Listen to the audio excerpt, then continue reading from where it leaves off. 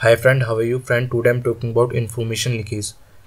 Information leakage is a real and growing problem. Every month, news about another organization leaking confidential information became public. These are known cases that have a visible impact. Many similar incidents occur daily and the vast majority of information leaks are accidental. It was not slowly solely the result of international harmful action.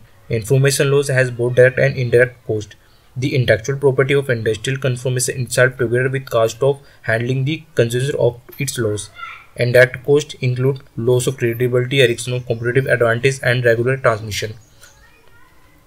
Information leakage is an application weakness where an application reveals sensitive data such as technical details of the web application environment or user-specific data.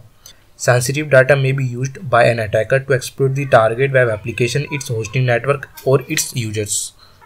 Information leakage happens whenever a system that is designed to be closed to an eavesdropper reveals some information to unauthorized parties. When, for example, when designing an encrypted instant messaging network, a network engineer without the capacity to crack encrypted codes could see when messages are transmitted, even if he could not read them.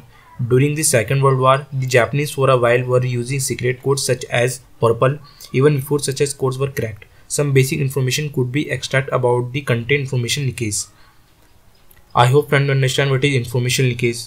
Friend, if you like this video, please click on like button and if you really like this video, please subscribe my channel to my latest video update. Thank you friend.